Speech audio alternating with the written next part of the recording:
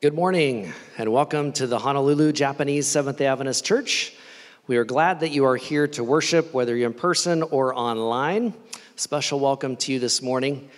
Uh, what a blessing it is to gather on yet another day of life. This morning, I was able to, um, when I came over for, for my prayer time this morning, my daughter was awake, my six year old, and I said, Hey, you want to come have prayer time with daddy? So she came over and had prayer time this morning, and one of the first things we prayed this morning was, Thank you for another day to be alive. It's always a blessing not only to anticipate uh, the blessings from God and the blessings from others, but also to anticipate the blessing that God will use you to be for others. And especially as we worship from Sabbath to Sabbath, we are reminded that this is God's special day, a day that He promised would be a blessing for us as we honor Him as the Creator. But not only as the Creator, also our Redeemer, the one who is, the one who was, the one who uh, will be, the Alpha, the Omega, the beginning and the end. So I pray that no matter if you find yourself at home or, or here, that you will be blessed this morning. We do have a, a special speaker, as you know. This is part two of a four part series of Pastor Pavel Goia, and he's sharing about prayer and commitment to God. And I don't know about you, but I was thoroughly blessed by the first message last week. And we had such a great time in our small group. And I was talking to the other small group leaders this morning.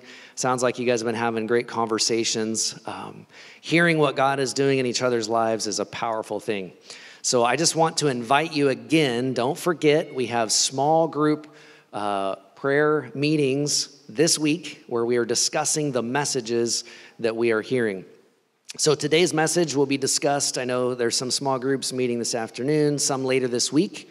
The two I want to tell you about is one on Wednesday night from 6:30 till 7:30, and I'm leading out in that discussion.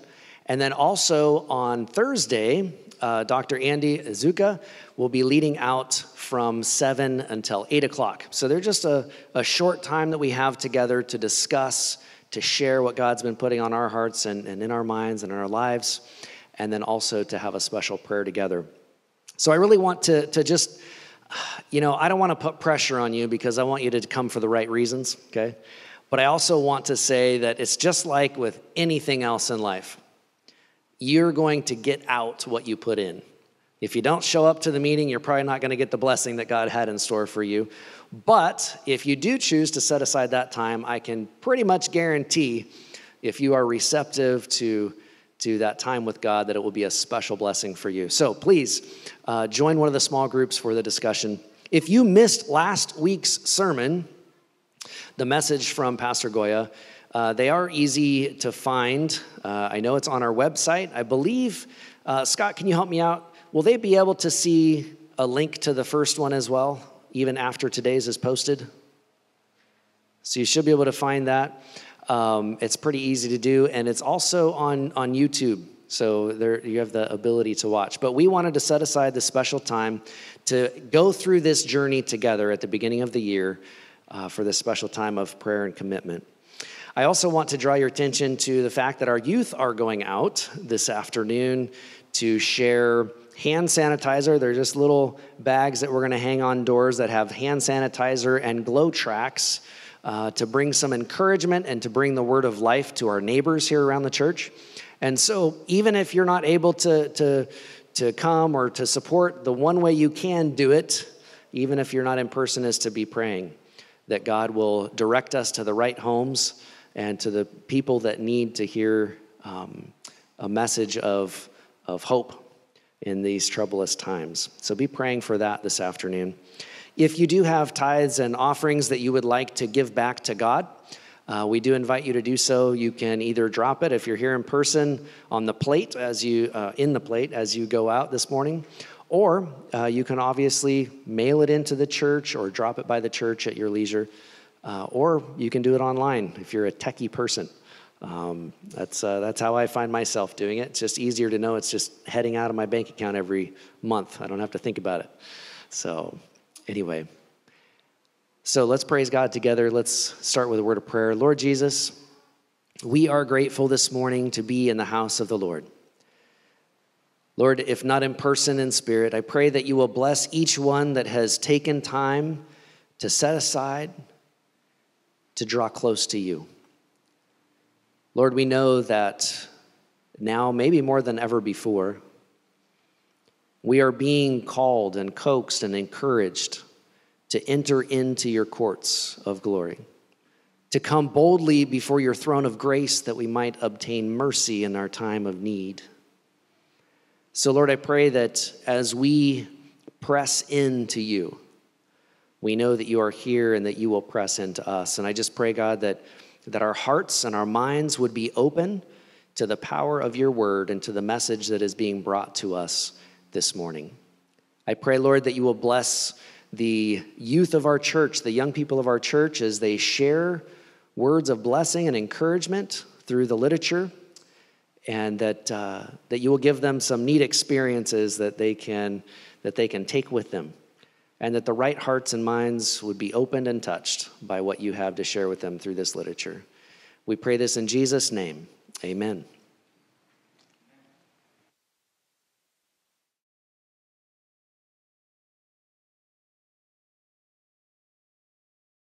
Hello, everyone. It's good to be back. It's time for praise and worship. Our first songs today. It's uh, Open the Eyes of My Heart, Lord. We want to see you. Uh, Sing along if you like to uh, in your own homes.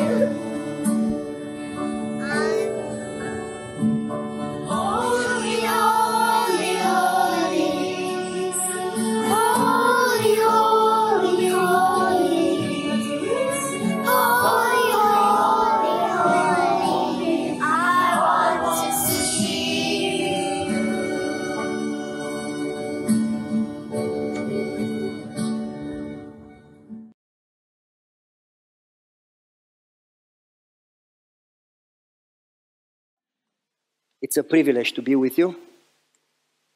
And it's a great privilege that we very little appreciate. We should appreciate it a lot more to come in God's presence and worship Him and to enjoy Sabbath. So many people don't have the blessing of taking one day off and really spending time with God. And so many of us go to church and we think we keep Sabbath because we don't work. But in that case, lazy people keep every day because they never work. And so, the, to keep Sabbath is not that you don't work. To really keep Sabbath is to do what God intended you to do, basically to spend time with God. And so, if you go to church, but you don't really spend time with God, you lose your time. If you go to prayer and you do all your routine, your duty, but you don't encounter God, prayer is not going to help you. Pharisees prayed too.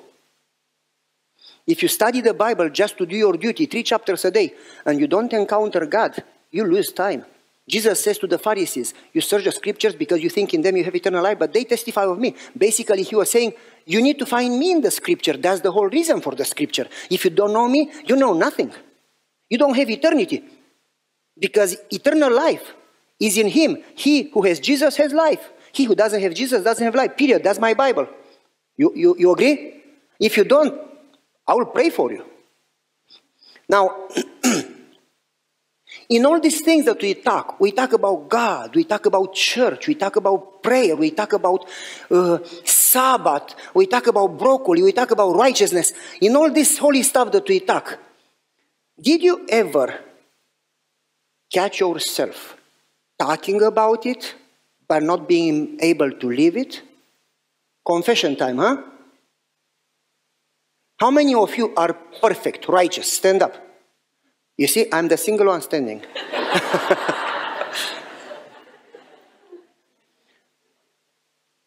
How can you make sure that you are righteous? How can you make sure that you are saved? Because otherwise, we lose time. How can you make sure that you are saved? Can you be sure that you are saved?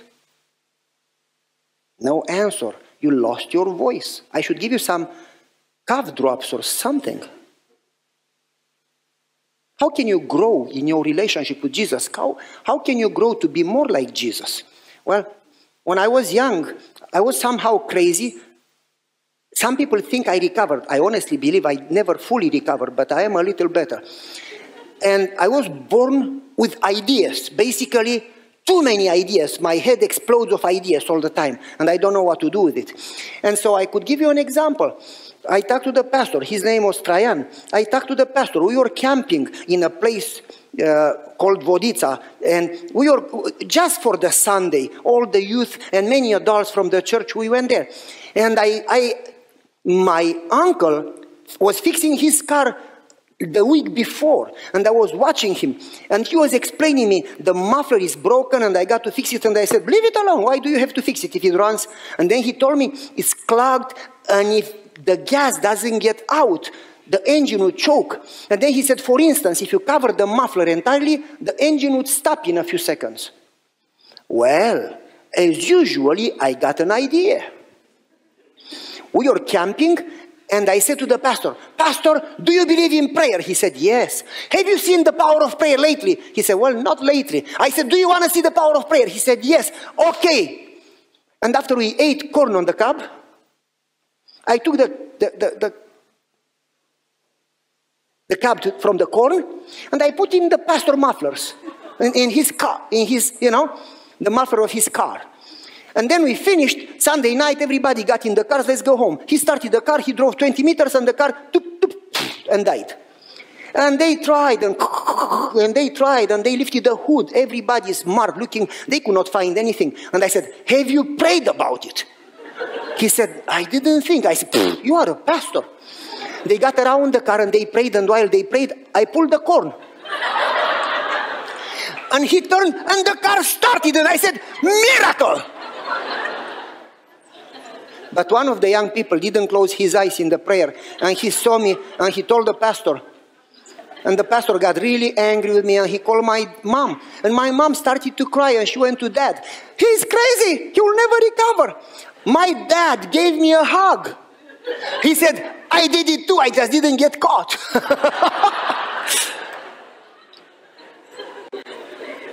and then my dad said, You know, This is the wonderful thing that while we are the way we are, Jesus loves us. And my father said to me, God forgave me, and I forgive you. He said, You can never understand God, you, can, you, you cannot know God, but I am here to show you how God is like. And I want to represent God properly, so I want to treat you the way God treats me. How could you understand God's love? My father knew that I am crazy and stubborn, and if he would have tried to punish me, I would have done in my way to death, you know. But he knew that love is the best method, you know. So my father said, You know, by the way, my father prayed for me, and I changed, and I am praying for you, and you will change. And my mom said, You give him a hug, you should spank him. And my father said, Hey, can you imagine if you would use all this creativity in God's work? So that's what I am praying for. It was wonderful, huh? Oh, I loved him. He was my best friend. And, and everybody in the church, one time uh, they were at the church, it was evening, I got an idea. I put a wire between two trees, like five centimeters from the ground. Everybody that came out of the church, they stumbled in the wire, and I watched it, and I was saved. I was so happy watching them. One time I cut a soccer ball, a football, um, I cut it, put a rock inside, and put it in front of the church with a cut down. Young people would come, hit the ball, oh! And I was like, wow, wonderful. And everybody said, he is crazy. He will never change. How do you change? Do you feel that you ever can change? Have you tried to change and then you ask forgiveness and then you try hard and then you do it again? Huh? And then you kind of get discouraged and you smile and say, Good morning, happy Sabbath, happy Sabbath, how are you doing? Great, you great. Pfft. And you are fake? Even the dogs can smell that you are fake? Everybody knows it, and you know it, and everybody smiles, and we pretend everything is fine. How do you grow? How do you grow? I was in Bucharest, I was in college, construction university, and uh, the church that I went to, we had an old pastor. I mean, he was, I don't know, 150 or something. I, I, as far as I know, he was about 90, 89 or 90. And he was preaching like this, leaning on the pulpit and, brothers, we, love, we got to love the Lord. and the young people are all sleeping or playing games or looking through terrible magazines in the church. And I thought there is something that we should do for it. So myself with my best friend Pizzi started to pray and then a girl who was playing the piano, Mihaela, she joined our prayer group, and then another five guys joined us, and then more girls, and eventually we were 11 praying, and then 20, and then eventually 54 young people from that church. We were praying every day together. In about six months, the church was revived altogether. And we started to visit old people and mow the grass, even if they didn't want us to. And we started to clean the house and visit the sick and started to do Bible studies and we started to do mission trips and we basically, it became alive. And I remember in that time, some friends from the church, I'm not going to give you any type of name or anything like that, they came to me and said, Our daughter has left the church and she doesn't talk to us and she doesn't want to talk about God. And she kind of drinks a little and can you please work with her? And I said, Did you try to work with her? Yes. If you just mention church, she will not even talk to you. I said, Okay, let me pray about it. By the way, we make a good plan, like evangelism, we have a board meeting, we make a good plan, and then pray that God would bless our plan. You, you should not ask God's blessing for your plan. You should ask God for His plan. What if Joshua had a board and devised a plan to take Jericho and then ask for God's blessing. You don't do that. And so I prayed, Lord, give me wisdom how to work with her. And then God gave me wisdom to ask around what does she like. And I learned that she likes mountains. And so I called her, said, hey, good morning. Who is there? I, I didn't tell her my name, though she knew me. I said, your enemy. She said, are you kidding? I said, nope. What do you want? To make your day miserable. If I told her that I want to talk to her about church, she would have hung up. If I told her, hey, I am a friend, can you talk a little now? I don't have time. So you got to challenge them. I'm, I'm, I'm calling you to make your day miserable. She says, what? I said, you heard me. How can you make it miserable? Watch it. Do you like mountains? Yes, I like mountains. How, in how many mountains have you been? Most of them. I said, I've been in all of them. Every mountain, every cabin, every path. You cannot find one in the map that I didn't go. She said, I don't believe that. I said, try it. She said the mountain. I said, I have pictures. I can give you details. She tried another one. I said, I beat you.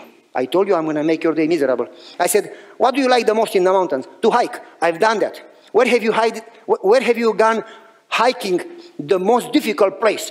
She told, me the place. I said, that's baby game.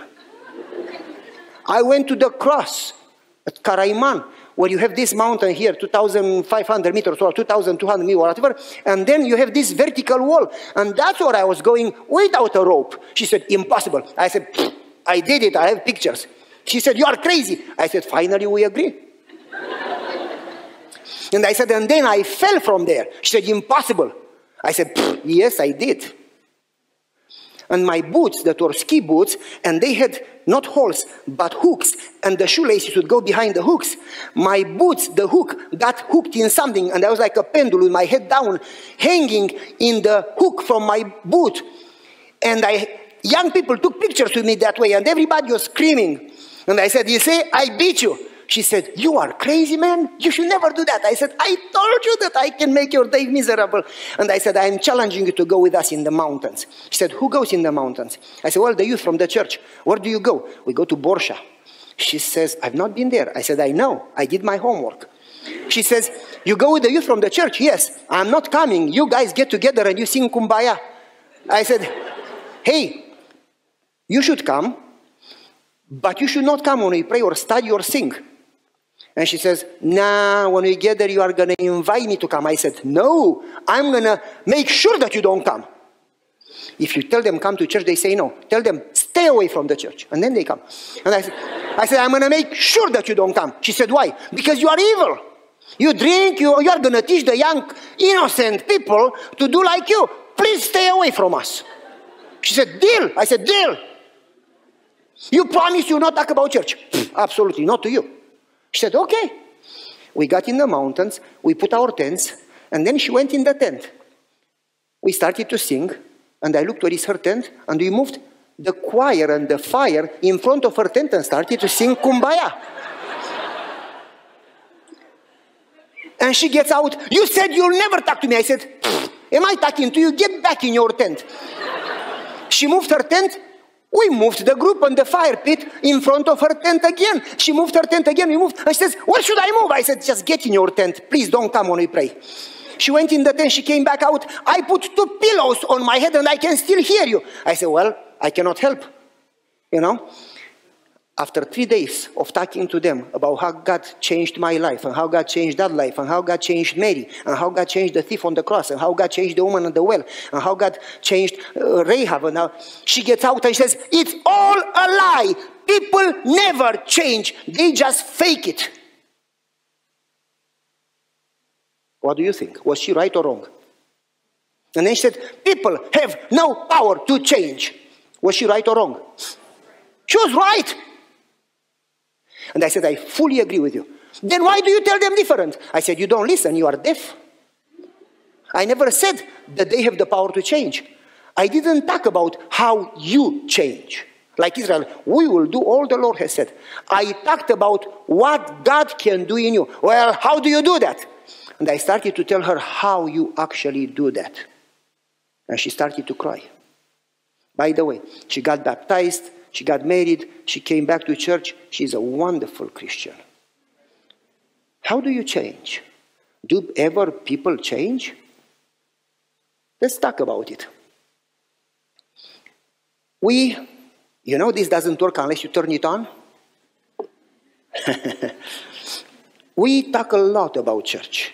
We go to camp meeting, we go to Sabbath school, we sing in the choir, we listen to like a thousand sermons in a lifetime or more. But so many times we come back home and we are the same. You follow me? How do you actually grow? Do you want to grow? Or you want to be 40 years old Christian and you still wear diapers? And you still stink? And you sing a song and nobody applauds you and you say, I'll never go back to the church. That church didn't appreciate me. Grow up. You don't do it to be appreciated. You do it for Jesus. How do you grow that you don't wear diapers anymore? Have you seen 40 year old Christians in diapers? You know what I mean? How do you grow? How do you acquire righteousness? How do you acquire salvation? What do you do to grow? What do you do to grow? Is Sabbath school, is it good to go to church? Why don't you answer? Yes! Is it good to keep Sabbath? Yes! Thank you. Is it good to read the Bible? Yes. Is it good to get involved in the church mission? Yes. Is it good to eat tofu? Yes. Next question. So it is good. Does it save you? Then why do you do it? Should you do it? Does it save you? Why do you do it? Let me explain it. Let me explain it. Let me explain it a little. Listen carefully. There is a quotation where she says that learning from Abraham's life, that God is using Abraham's life as an example, that learning from his life, we understand how to grow more like Jesus, how to grow in our relationship with God, how to grow in righteousness, and how to get salvation.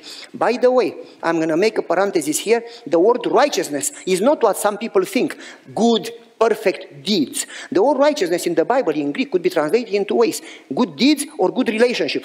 Every time it's used in the Bible, it refers to relationship. God expects you to have a perfect relationship with Him. Now, let me ask you do you know anybody that died and you're perfect, sinless? Do you know anybody perfect? Because my Bible already gives the answer. It says that there is how many perfect? The Bible says none, except politicians and me. The Bible says that none, all, how many have sinned?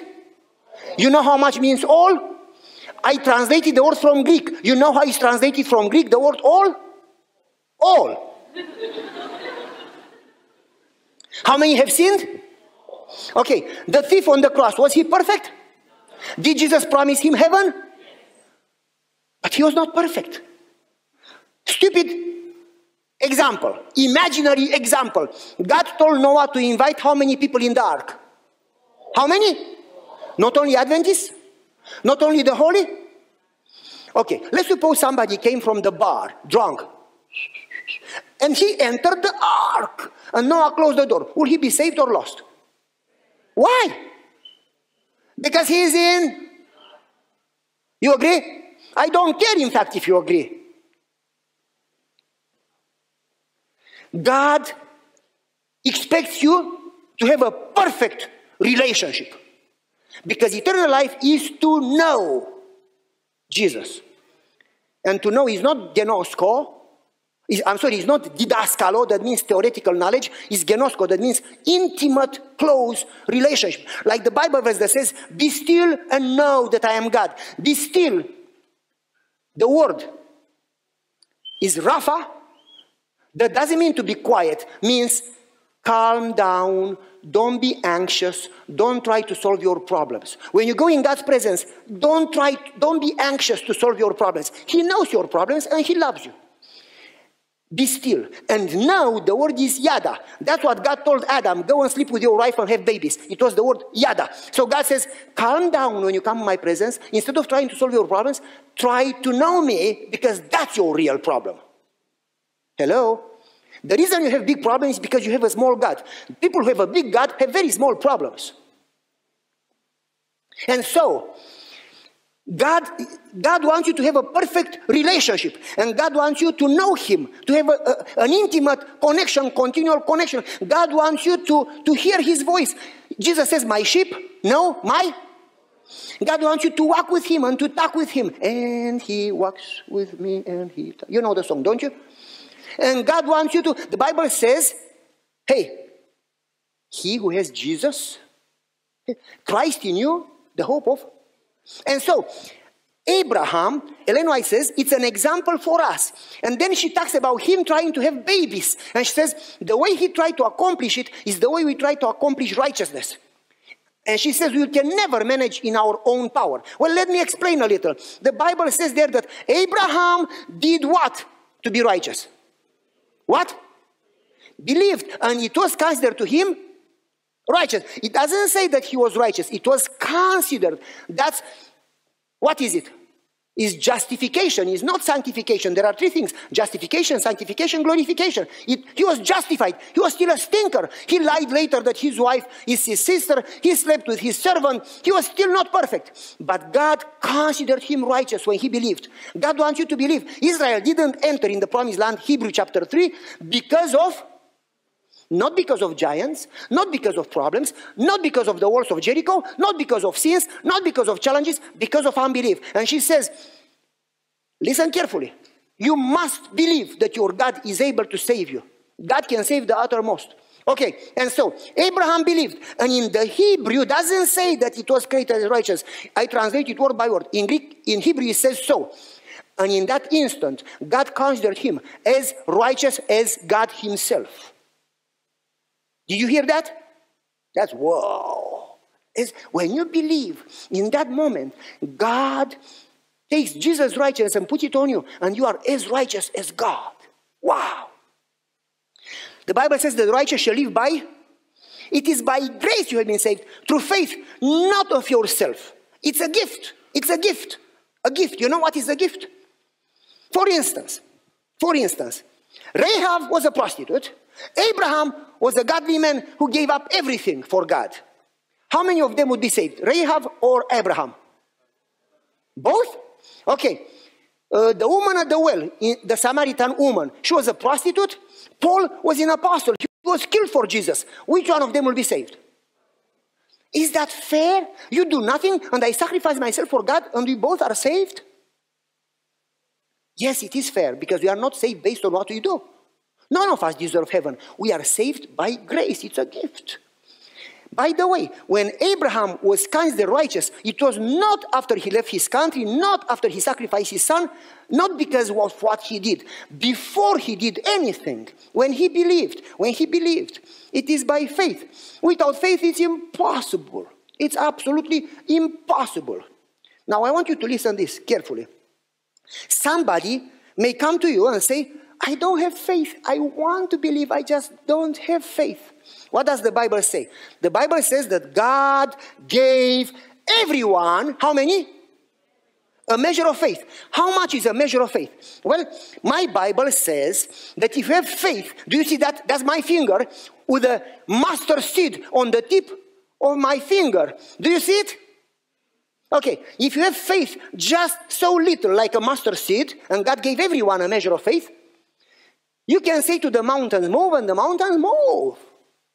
By the way, it says that White says that as you exercise faith, it grows into a big mustard tree. And she says God is gonna in selected messages and also in prophets and kings in the last two chapters that God allows small things in your daily life. So you exercise faith, and as you exercise and develop faith and get to know Him and to trust Him, He will allow bigger things, and slowly He would grow your faith. So when the final crisis comes, you can trust in Him.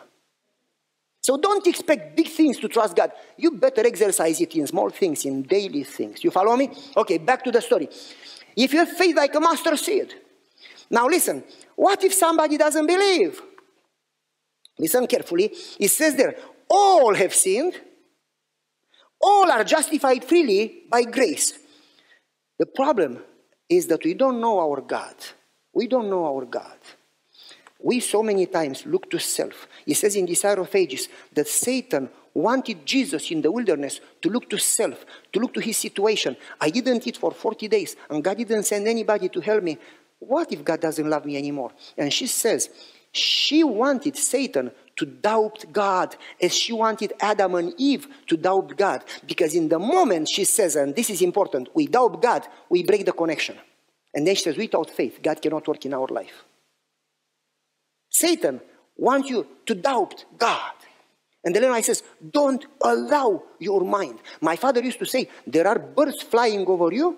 That's okay. Just don't let them make a nest on your head. Doubt can come and go. Just, hey, go away. And she says, talk faith, pray faith, sing faith, think faith. Don't allow yourself to say one word that is negative. And she says, through doubt, Satan can work in your life. And then Satan can use you to affect others. And so, if you look to self, if you look to problems, yes, you doubt God. Stop looking. When people complain, I have a problem. You know why? Because they look to problems. Keep your eyes on Jesus. And so, how do you grow righteousness? How do you, how do you get salvation? How do you do that? Righteousness is in Jesus alone. It's a person. It's not what you do, it's who you have, who you know. And I'm going to use the example of Abraham to explain it a little. When was righteousness created to Abraham? When he believed. Well, let's talk about Abraham just a little. God brought Abraham outside and said, Look to the heaven. Do you see the stars? Yes, Lord. How many are? Can you count them? No, Lord. So many will be your children. And in that moment, Abraham believed, and it was counted to him as righteousness. And then it says there that Abraham, that was by now 75 years old and Sarah 65, contrary to any hope, believed and he was fully convinced that God will keep what he promised. That God will keep what he promised. Do you do you know the picture, don't you? I'm going to explain it a little. Abraham was in Avondale. He was going to school, he was taking law, and Sarah was in the nursing school. And when Abraham saw Sarah, she was the most beautiful thing on two legs in the whole campus. When he saw her, he said, oh. and he was like a snail. His eyes went telescopic eyes. And then he was following her everywhere like magnet, you know. And then they started to date, and then they finished school, and then they got married, and then they moved to Melbourne. And then they got a good job. He was a lawyer, she was a nurse. They got a nice house, they got a nice camel in the garage, and they got a big screen flat TV, and they got a big salary. And they said, Hey, honey, we have a job, we have a salary, we have a stable life. Now it's time to have babies. And then they tried, as we try, to be righteous. And did they manage? And then they tried again. Nothing. And then they try harder. Nothing. And then they started to pray and to have faith. Nothing. And then they fasted. Maybe if you fast, you get it. That's what we do. We fast to become righteous instead of fasting to know God. Nothing happened. And then they ate broccoli and tofu and vegan. Maybe they become righteous. Uh, they get babies. That's what we do. We do everything to be righteous. You don't do to be. Whatever you do, your righteous deeds are filthy rags. Not your bad, your good deeds, the Bible says, are filthy rags. You follow me? And they even ate tofu to get babies, as we do it to be righteous. Didn't manage. And then they went to the best doctor. They went in Sydney to the best clinic and they talked to Mark Finley. How can we be right? How can we get babies? And pff, it didn't help. And then they started to take pills. If I listen to that sermon and if I do this and this for the church, nothing worked. And then they kind of got discouraged and they, listen carefully, decided to help God because God needs a little help. God does something, but you got to do something for your righteousness. So he slept with his servant and he made a mess forever, even today. And then I says, Jesus was not didn't allow himself to be tempted by Satan in the wilderness. He waited for God to comfort him. And then she says in the next paragraph, those who don't wait,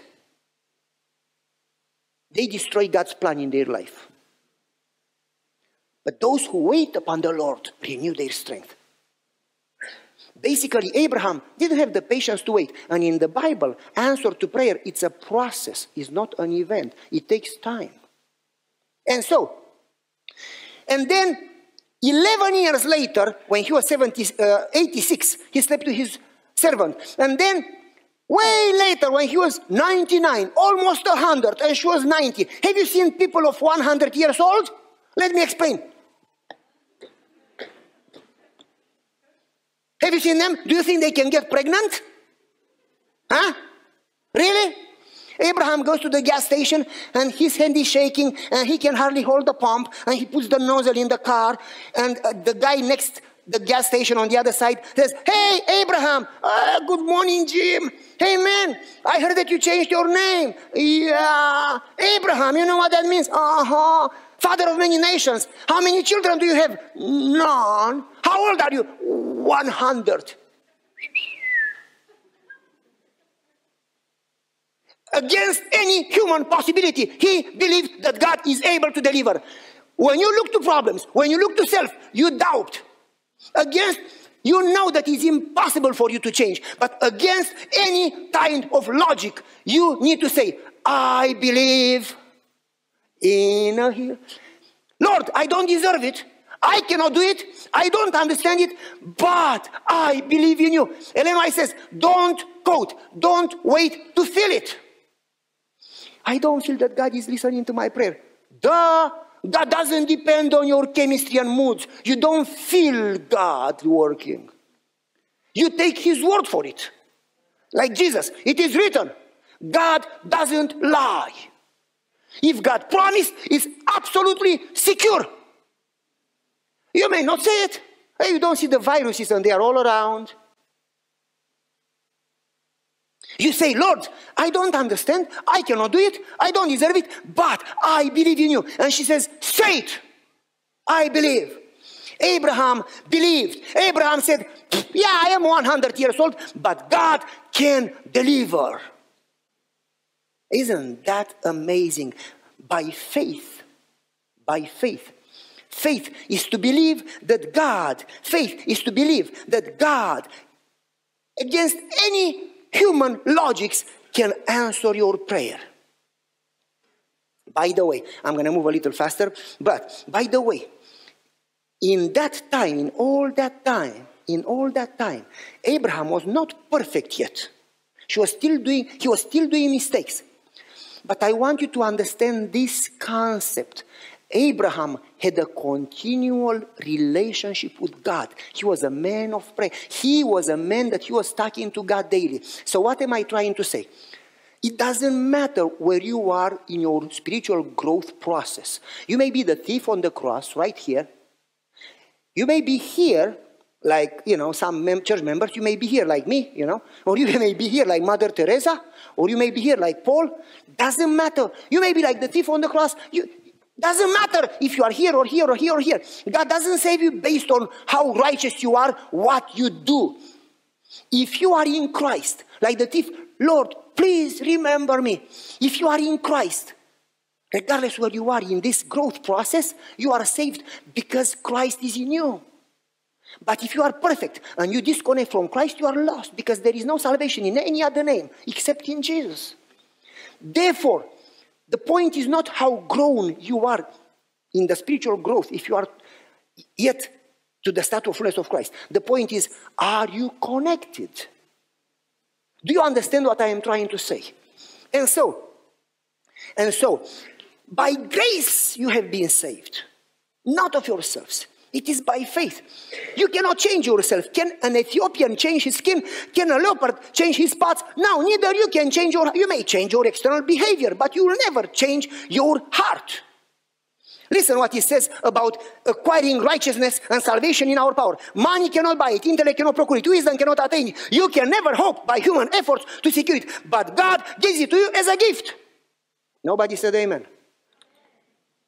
Now, if you look to self, you will never have the hope to change yourself. If you look to others, you'll feel better because this is what people who struggle to do it in human power do. They judge everybody around so they feel good about themselves. People who judge others, they have a spiritual problem. They are sick. God called you to love your neighbor, not to judge. In fact, the Bible says, don't judge because you'll be judged. You, you remember the Bible verse? And Spirit of Prophecy says that when we judge others, we make ourselves God because that's God's job.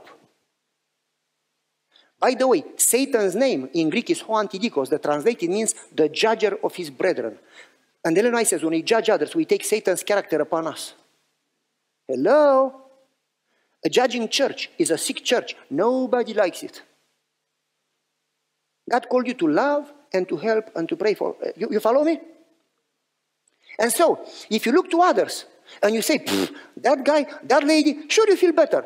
But the problem is that we don't look to Jesus. We look to self and get discouraged. We look to others and become stupid and proud. And he wants us to look to Jesus. What happens when you look to Jesus? When you look to Jesus, this is what happens.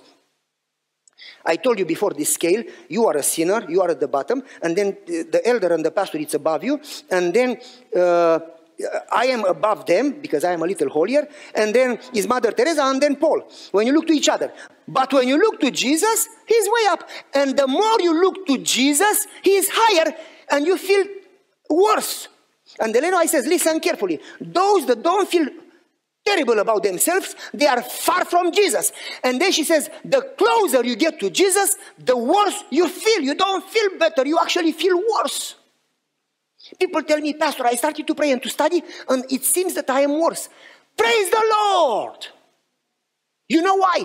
Because you were worse before, you just didn't know. Now you finally started to know. You had cancer, you just didn't know. Now you know.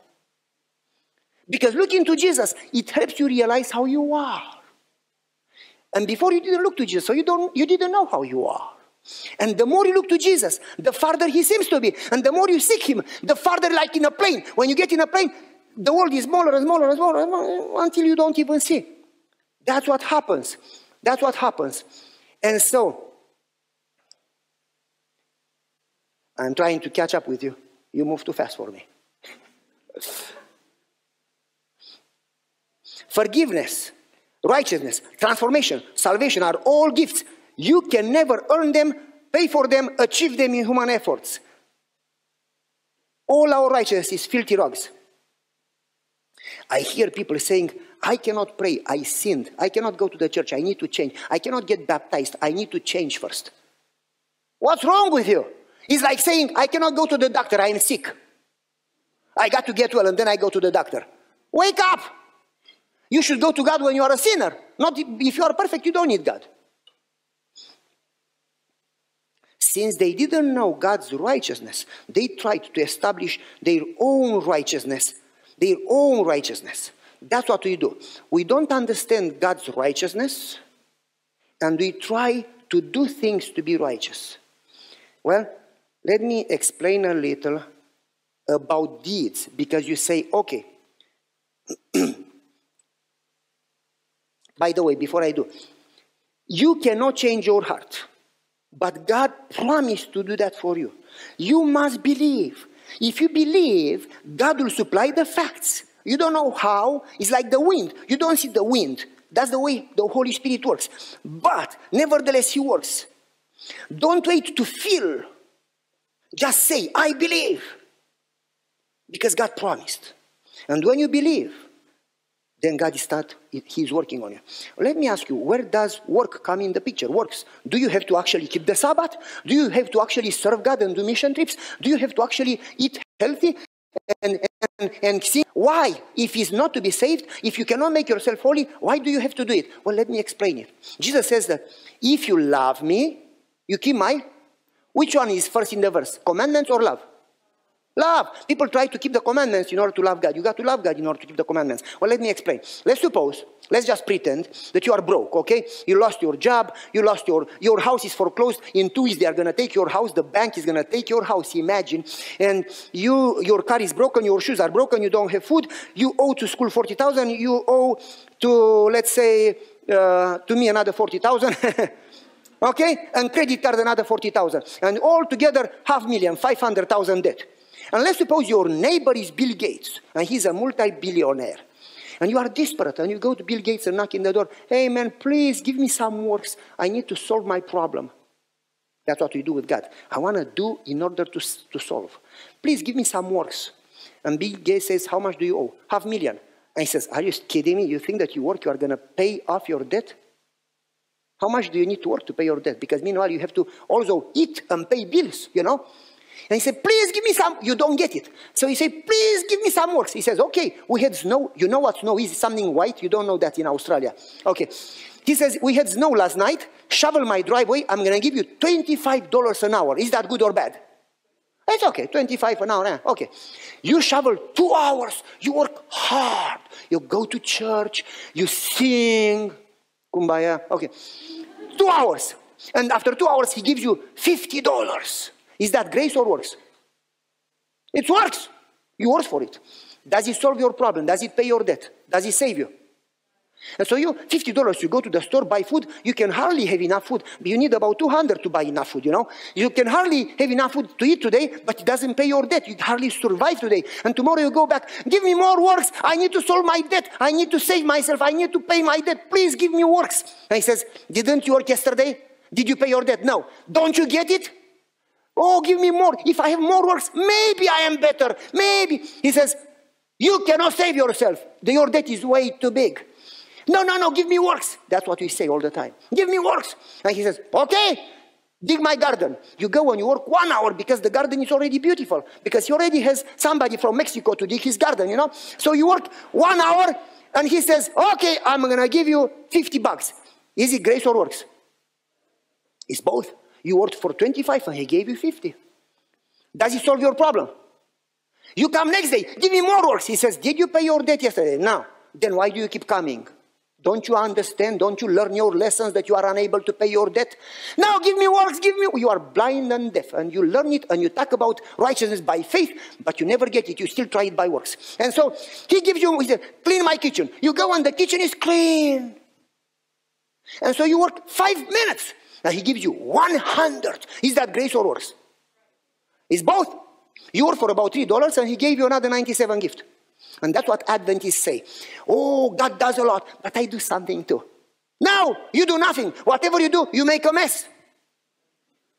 And then next day you go back, give me more works because that 100 didn't pay my debt. He says, I have no more works. And then he says, sit down. You say, why? Let's talk. I don't have time to talk. I don't have time for relationship. I need to work. He says, sit down. Don't you get it that you cannot save yourself? Sit down. And you, okay, and you sit down. And then he starts talking to you and he tells you about his life. He talks four hours. And you listen and you say, Man, I never knew that about you. You know, I like you.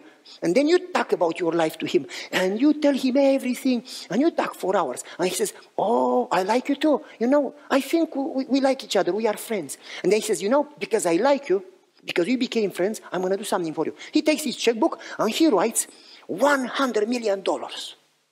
Why don't you say anything? Aren't you happy? Okay, 200. Are you happy now? He writes $200 million check for you. 200 would you be happy if somebody gave you 200 million dollars? 300 okay. Are you happy now? And he writes a check of 300 million dollars and he gives it to you and you say this is fake. That's what we do. It's too good to be true. I mean come on as a gift. I got to work for it and he says it's real. Uh, i don't believe so. He says come on i love you I gave it to you because I love you. We are friends. And you, okay, you go to the bank and you have them check it. Would you check this check? They check it, they say, it's real. It's real. It's real. It's real. It's real. Please deposit before he changes his mind. You deposit the check and you go home and tell your wife. Your wife says, You are crazy. Nobody will do that for you. Nobody. Yes, he did it. Nah, not real. She goes online, she sees the money. Ah, she starts screaming and jumping and screaming. And she calls the kids and she calls the name. She, you know, wives. She calls everybody and she talks on chat and she Facebook. uh, Three hundred million dollars. We are gonna pay the debt five hundred thousand, and we are gonna still have. I mean, two hundred. 99.5 million. Wow! Forever and ever and ever and ever. We don't have to work. We don't have debt. We have our children, our grandchildren. We can live only from interest. Wow! And she goes nuts. She goes crazy. And then you talk the two of you. Yesterday we were broke, and today we are set. We have more than we can ever imagine forever. Wow! And you say, What shall we do for him? And you go back to him and you say, Man, listen, I love you, man. He says, I love you too. Man, what can I do to pay back? He says, You need to live 1,000 lives to work for me to pay back, and you still cannot pay me back. There is nothing you can do. That was a gift. Man, I know I can never pay it back, but I want to do something too because I love you, not to pay back, because I love you, because you love me, because you saved me. Can I shine your shoes? No, no need. Come on. I do it joyfully. I want to do it. Can I clean your kitchen? I, I, I want to serve you. Hey, I already served you. No, no, no. I want to serve you too because I love you, because you love me. We are brothers now. Can, you, can I please do? I will do whatever for you, joyfully. Just let me do something for you too. That's where works come in the picture. You don't work to be saved. When you understand what God has done for you on the cross, when you understand what He will do for you to give you eternity, you cannot help but serve. And you do it joyfully. It's not a burden. You say, Can I shine your shoes? Please. You do it joyfully. If it's a burden, you have no clue what Jesus has done for you. Do you understand what works come in the picture? You do it because you love Him. Do you follow me? Well,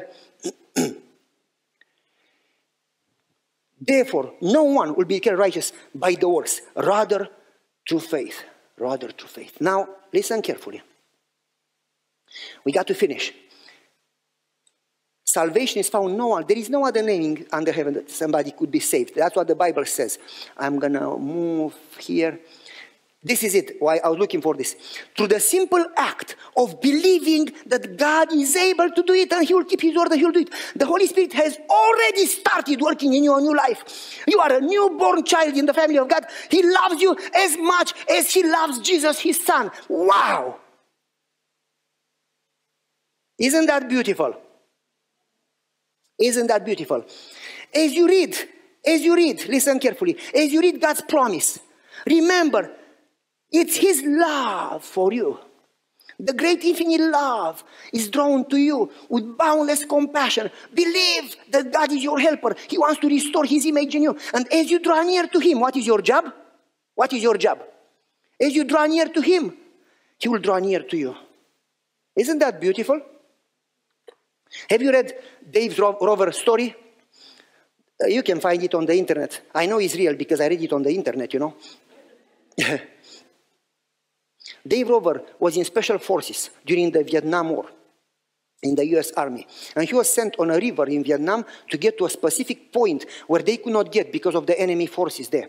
And so nobody could get there. And he took his special forces uh, platoon. There were 25 soldiers. They got in a boat in the middle of the night, no motor, no noise, and quietly they went up the river to get to that point and, and uh, destroy the enemy as you're getting close to the point, one of the uh, enemy forces threw a phosphorus grenade into their boat.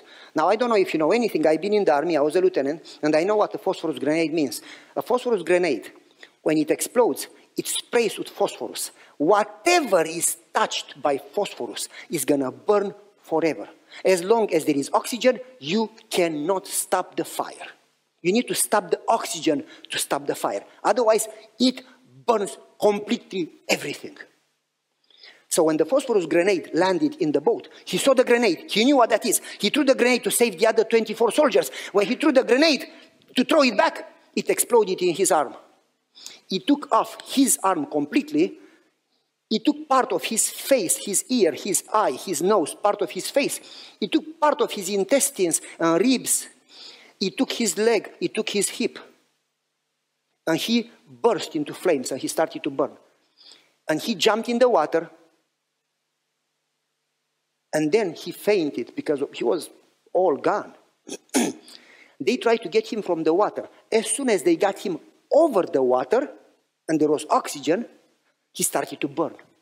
They got him under the water, but you need air to breathe, you know? So they got him back up again. He started to burn again. They covered him in blankets and left only the mouth and the nose. He started to burn. His mouth started to burn.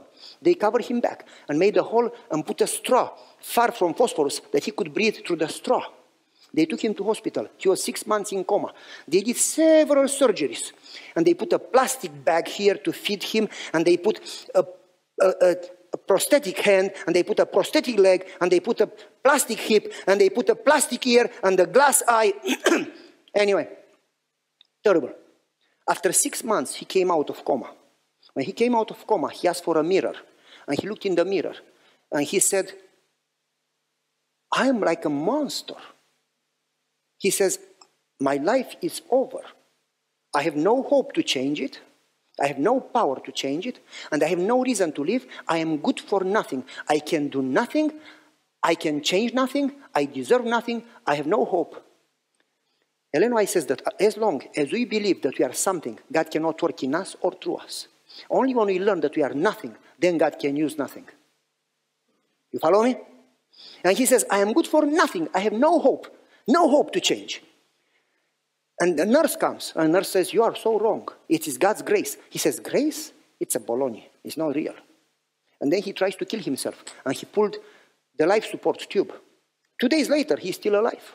So he talks to the nurse. He says, Why don't I die? She says, Why do you ask that? Well, I tried to kill myself. I pulled the support.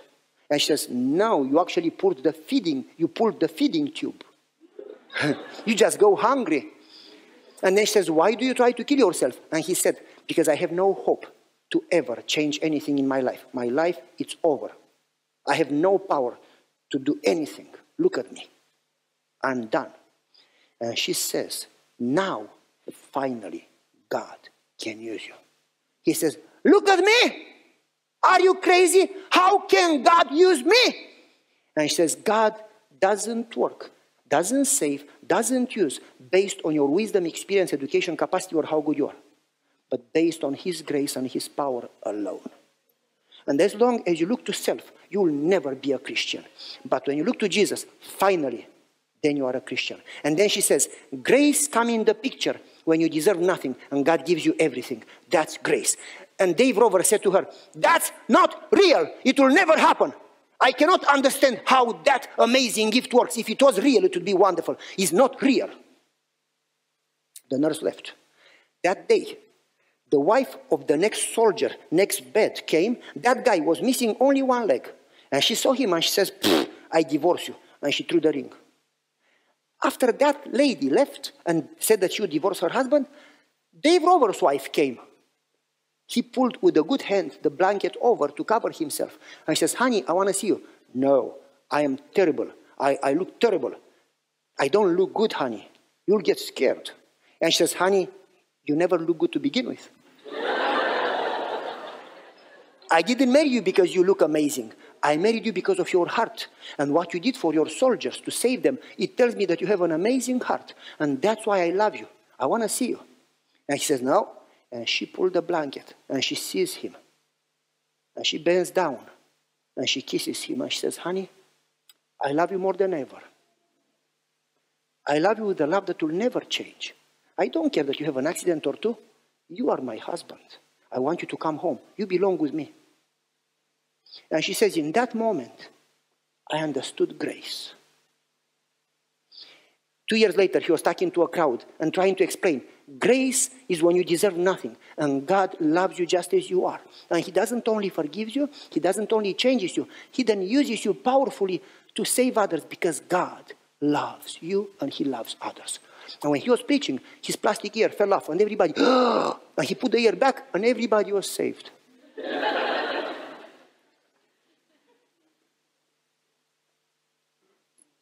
the reason we struggle in our Christian walk is because we don't know our God. If we spend more time reflecting on God's love, Ellen White says every day spend at least one hour reflecting on God's character and His cross, specifically the last week of His life. She says every day sp- spend one hour. And then she says, the more we understand God, the less we struggle, the less we stress. And then she says something major. She says, as we reflect, as we as we contemplate, as we reflect on His love and character, we are transformed into His image without human effort. How are you changed?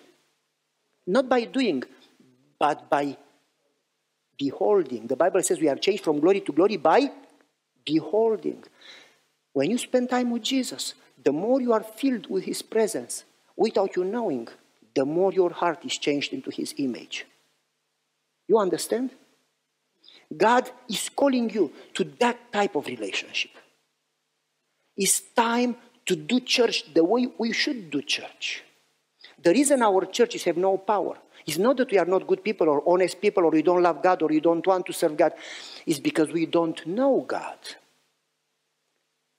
When we get to know Him, then we grow. Then we know how to love others. Then we know how to be patient. It's not because we fight it, but because He starts living in us. Then we have influence over others, not because we can prove our doctrines, but because they see Jesus in us. Then God can use you. Then your church is attractive. You follow me? God is calling you to start that type of relationship. You want to do that? Stop trying to do it. Start getting to know Him. Lord, I want you more than life. I want to know you. I want to walk with you. I don't care if I live or die. I do have problems, but I'm not asking you to solve my problems. In fact, if you allowed me to have problems, I may need problems. Please let me go to problems. If you want me to go to prison, I go to prison, Lord. If you want me to be sick, I'm sick. Do whatever you want. Whatever would grow me to be like you, whatever would help me to know you and to trust you, whatever would help me to serve you, I give you permission, Lord. I don't want any any things. All I want is you. Would you please move into my heart? Would you please get closer to me? You promise that if I seek you, you will let yourself be found. If I draw near to you, you'll draw near to me. Come, Lord Jesus. Come today into my heart. You want to say that today? God draws us. He draws us to Him with love. And only as we reflect that love, we start loving Him back. You don't have that love in you.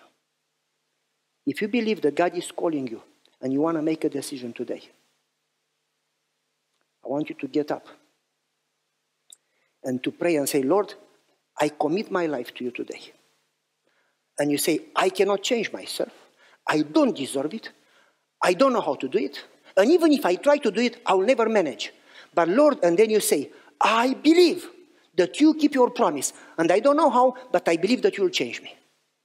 And I trust in you and thank you, Lord, for starting to work in me starting today.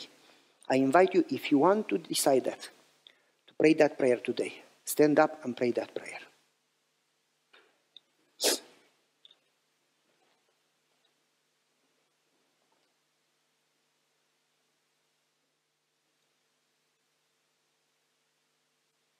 Father, you know every heart. You can hear every prayer. And you love us with a love that is so deep and so wide and so tall that we can never, ever fully understand your love, not even in heaven, in eternity. Angels cannot get it. And Father, we come to you today and we make this commitment. We want to know you. Help us. We give you permission to work, to do whatever it takes. Help us to seek you more than blessings, to seek you more than righteousness, to seek you more than eternal life. What would be eternal life without you? Help us to seek you, not your blessings. Help us to desire you to the point that we forget all our problems and all we see is you. We are consumed to know you, to love you, to, to walk with you, to be with you. Help us, Father, to spend more and more time with you to the point that we stay connected continually. Father, we believe that you already are working on it, that you enjoy this prayer, that you say, Yes, I promise I will work, and that you are able to finish and you are able to save. And based on you, not on us, not on our understanding, based on you and your love and your power and your promise. In faith, we praise you, Lord. And we don't even have enough words to thank you. But we thank you and we love you, Lord. And we can hardly wait to praise you forever. We pray this not because we deserve it, but we pray in Jesus' merits who died on the cross for us. And thank you, Lord. Amen.